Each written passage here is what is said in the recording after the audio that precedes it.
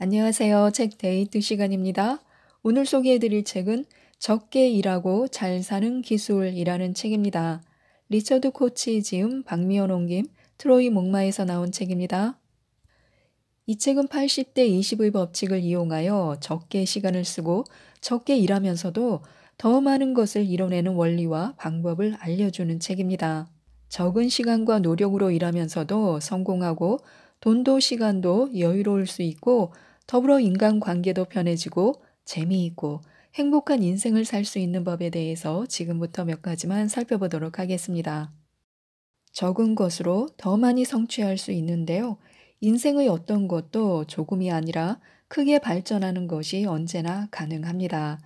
발전하기 위해서는 보다 적은 에너지를 가지고 보다 나은 결과를 가져다 줄 만한 것이 무엇일까 하고 질문해야 합니다. 적은 것으로 많은 것을 성취한다는 것이 다소 불합리하게 들릴 수도 있습니다.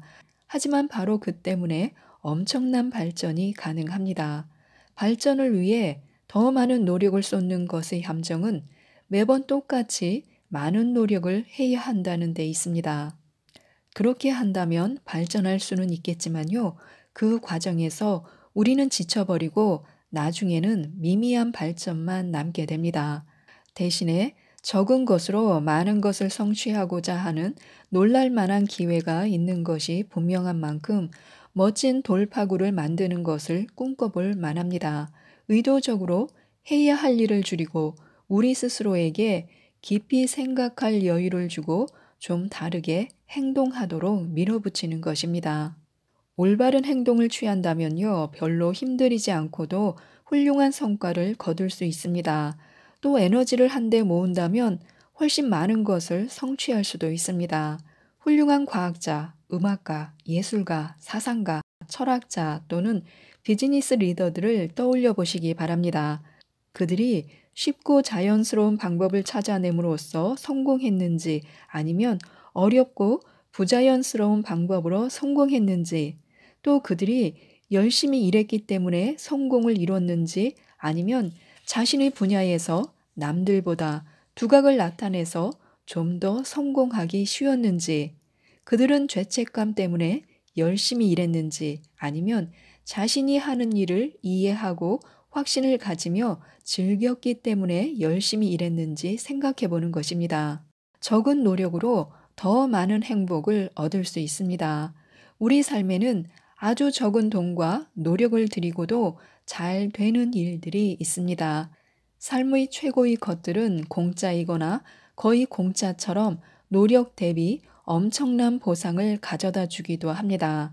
고맙다는 말, 감사함을 표현하기, 친근감 드러내기, 노을과 해돋이 보기, 동물과 환경 돌보기, 아는 사람들에게 웃어주기, 친절하게 대하기, 아름다운 곳을 산책하기, 이 모든 것들이 적은 것으로 많은 것을 이뤄낼 수 있게 합니다. 즉, 노력에 비해 보상은 크게 돌아옵니다. 우리의 인생이 앞으로 나아가는 단 한 가지 방법을 생각해 본다면 적은 것으로 더 많이 성취하도록 바라는 것입니다. 적은 것으로 많은 것을 성취하는 것의 아름다움은 이것을 어떤 것에도 활용할 수 있고 언제나 효과적이며 인생을 통해서 우리가 원하는 답을 항상 알려주는 데에 있습니다. 많은 것으로 더 많은 것을 이루려는 것의 문제점은 이것이 지속 가능하지 않다는 것입니다. 적은 것으로 많은 것을 이뤄내기는 쉽게 유지되고 널리 퍼져나갈 수 있습니다. 앞서가는 생각이 인생의 큰 보상을 가져다 줄 적은 비용이 되는 것입니다. 습관이 되면 어려운 것이 쉬워집니다. 처음 시도해 보는 일은 언제나 힘들지만 하면 할수록 점차 수월해지고 어느 순간에는 안 하는 것보다 하는 것이 더 쉬워지기도 합니다. 어려운 것은 쉬워지고 종종 쉬운 것이 어려워집니다. 아무 때고 습관을 바꿀 수 있지만 이른 시기에 바꾸는 편이 더 쉽습니다. 쉬운 일을 예로 들면 과식하기, 걷기보다는 차로 이동하기, 사소한 일에도 화내기 등의 습관은 몇 년이 지난 후에는 고치기가 매우 힘이 듭니다. 반면 시작하기는 힘들지만 해놓고 보면 잘한 일들은 그리 오래지 않은 시간에 점점 수월해지는 것을 알 수 있습니다. 훌륭한 습관을 좀 더 빨리 갖는다면 적은 에너지로 많은 보상을 얻을 수 있습니다. 그렇다 해도 인간의 습성을 고려하면 취할 만한 좋은 습관들을 선택적으로 고르는 편이 더 바람직합니다. 지금껏 읽어온 다른 좋은 습관을 방해하지 않고서 갖고 싶은 몇 가지 멋진 습관을 신중히 선택해 잘 마스터한다면 적은 노력으로 더 큰 행복을 누릴 수 있습니다. 우리가 행할 수 있는 습관의 수는 정해져 있습니다. 그중 몇몇 습관은 행복을 가져다 주는 경이로운 효과를 발휘합니다. 자그마한 선행의 노력으로 엄청난 행운을 얻게 되는 것입니다. 매일 운동을 하면 더욱 건강해지거나 더 매력적인 몸매와 기분이 좋아집니다. 매일 지적 훈련을 하면 기민해지거나 지적 능력이 향상됩니다. 사색을 즐길 수 있습니다. 친구에게 관대하면 기분이 좋아지며 관계가 깊어집니다. 어디서든 칭찬하거나 감사하면 다른 사람과 자신의 기분이 좋아집니다. 수입의 10%를 저금하거나 투자하면 미래에 돈 걱정하지 않아도 됩니다. 매일 2시간에서 3시간 온전히 편안하게 보내면 에너지가 재충전됩니다. 자신에게 중요한 것에 집중하면 적은 것으로 많은 것을 얻어낼 수 있습니다. 걱정하며 살지 않기로 결심하면 마음의 평온을 얻고 덜 애써도 됩니다. 우리에게는 충분히 많은 시간이 있습니다. 우리 대부분은 시간의 20%에서 행복의 80%를 느낍니다. 시간의 80%가 단지 행복의 20%에만 기여할 뿐입니다. 우리가 이룬 80%의 성과는 대체로 시간의 20%에서 나옵니다. 나머지 80%의 시간이 성과의 20%만을 이끌어낼 뿐입니다. 시간의 쓰임새를 바꿈으로써 삶의 질을 형격히 끌어올릴 수 있는데요. 이를테면 내가 행복하고 생산적인 몇 가지 일에 더 집중하는 반면에 높은 성과나 행복을 가져다 주지도 않으면서 시간만 많이 쓰는 활동을 줄이는 것입니다. 이런 방법으로 적은 노력으로도 삶을 발전시키는 것이 가능합니다. 대부분 우리가 경험하는 좋은 시간은 짧고 반대로 나쁜 시간은 깁니다. 이 둘을 바꿔치기 하면 좋습니다. 좋은 시간은 길어지고 나쁜 시간은 짧아져서 삶의 혁명이 일어나게 됩니다.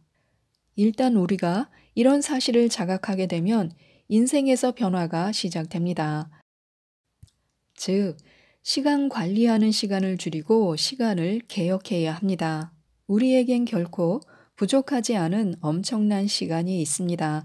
왜냐하면 우리가 낭비하는 시간이 매우 많기 때문입니다. 자신의 시간 혁명을 촉발하기 위해서는 속도를 줄이고 천천히 해야 합니다. 걱정은 떨쳐내고 더 적게 일해야 합니다. 해야 할 일들 리스트는 집어던지고 하지 않을 일들 리스트를 만들어야 합니다. 덜 행동하고 더 많이 생각해야 합니다. 자신에게 중요한 일에 심사숙고해야 합니다. 그리 중요치 않은 일이나 자신을 행복하게 만들지 못하는 일은 그만두어야 합니다.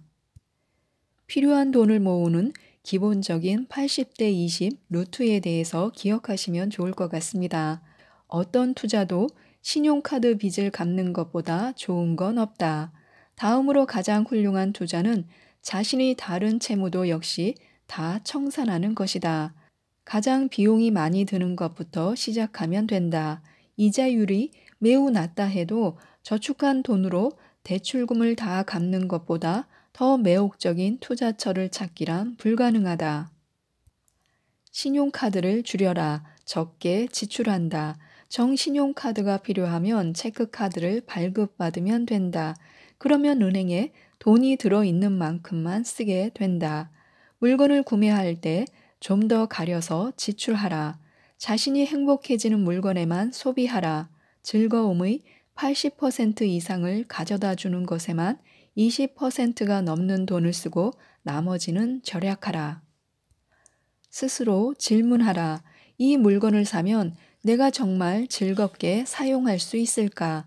지출을 통해서 구입한 물건의 20%가 나에게 만족감의 80%를 가져다 주는가?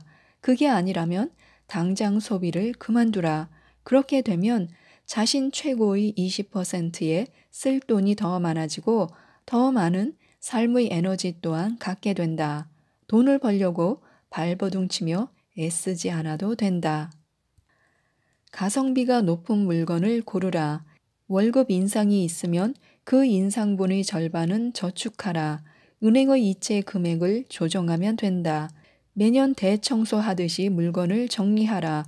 잡동사니는 버리고 작은 물건은 친구나 이웃에게 주거나 값 나가는 물건은 팔아서 투자를 시작하라.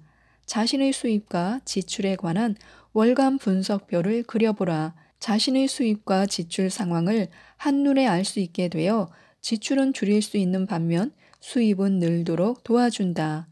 돈이 지출되는 한 가지 항목을 없애라. 그만큼 기부하라. 이런 행위가 자신에게 큰 기쁨을 안겨주기도 하지만 또한 신기하게도 수입을 증가시켜 주기도 한다. 많은 것으로 더 많이 이루려는 쳇바퀴에서 벗어나야 하는데요.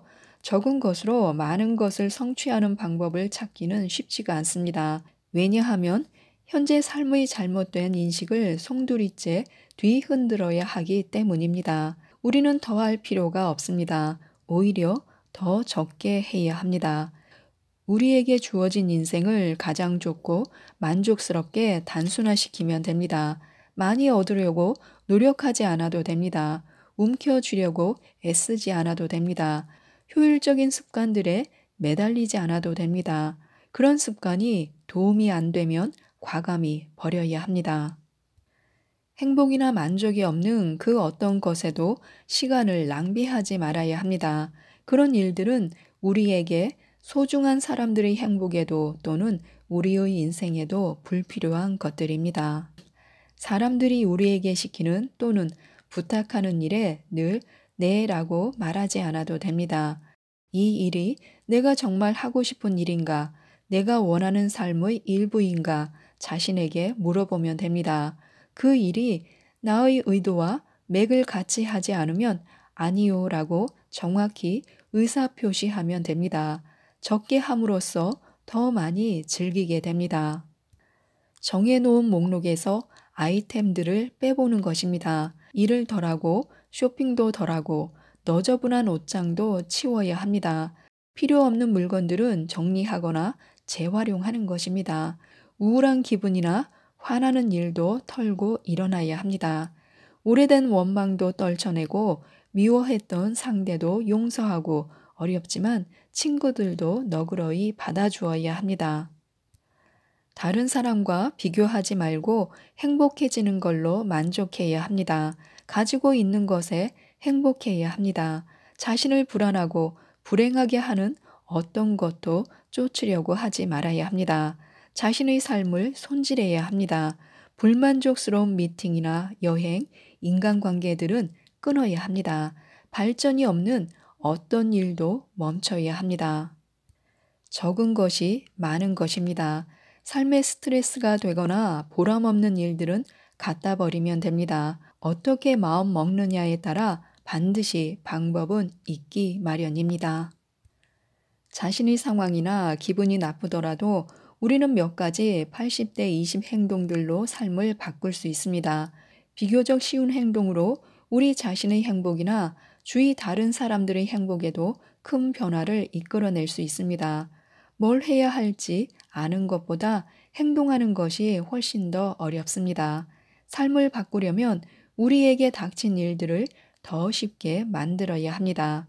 결정적인 변화를 이루어야 하지만 초인적인 노력 없이도 가능해야 합니다. 자신에게 가장 중요한 몇 가지 일에만 집중함으로써 지금보다 에너지를 적게 쓰고 걱정거리를 줄이면서 삶이 차차 변하게 됩니다. 80대 20 행동의 비결은 자신의 긍정적인 행동들에 인색해져야 한다는 데 있습니다. 자신이 가진 에너지를 아끼고 낭비하지 말아야 합니다. 진정으로 자신이 행복하고 힘을 북돋워 주는 행동에만 사용해야 합니다. 몸에 밴 생각과 느낌보다는 행동 몇 가지를 바꾸는 게 더 쉬운 법입니다. 올바른 행동을 취해야 합니다. 그러면 감정은 알아서 해결됩니다. 해야 할 일은 심사숙고하고 그리고 행동하는 것입니다. 첫째, 자신이 원하는 것을 해야 합니다. 자신에게 가장 중요한 일들을 해야 합니다. 그것이 80대 20 목적지입니다. 둘째, 자신에게 가장 쉬운 루트로 해야 합니다. 가장 적은 노력과 스트레스로 자신이 원하는 결과를 이끌어내는 행동을 취해야 합니다. 그것이 80대 20 루트입니다. 셋째, 80대 20 루트를 따라서 가장 중요한 다음 단계를 행해야 합니다. 그것이 80대 20 행동입니다. 지금까지 이 책에 대해서 말씀드렸는데요. 적은 노력과 비용으로 인생을 더 재미있고 행복하고 여유롭게 살아갈 수 있는 지혜를 주는 책입니다. 꼭 한번 읽어보시고 자신에게 맞는 방법을 찾으셔서 적게 노력하면서도 더 훌륭한 결과를 얻으셨으면 좋겠습니다. 이상 책데이트였습니다. 감사합니다.